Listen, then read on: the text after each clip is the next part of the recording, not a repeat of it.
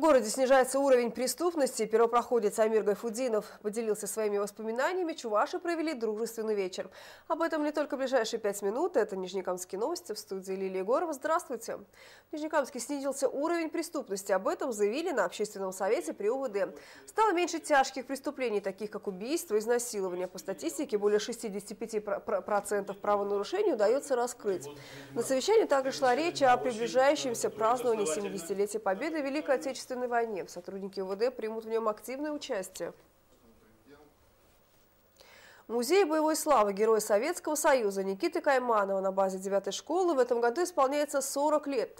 За это время было собрано множество материалов и артефактов, которые рассказывают о жизни ветерана.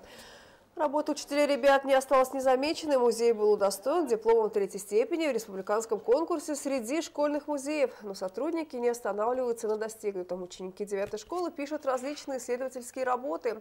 На экскурсию сюда также приходят ребята других учебных заведений.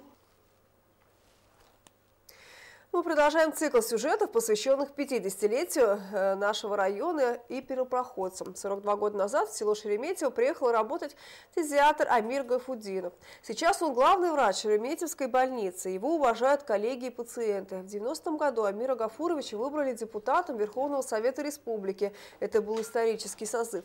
Именно он принял Конституцию, герб, гимн, флаг, объявил о суверенитете Татарстана.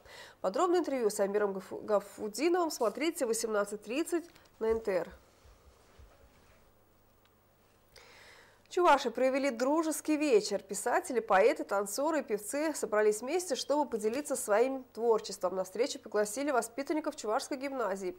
Вечер прошел в уютной домашней атмосфере. Организаторы уверены, такие мероприятия нужно проводить как можно чаще. Они помогают лучше изучить историю и культуру родного края. О погоде сегодня облачно до минус двух.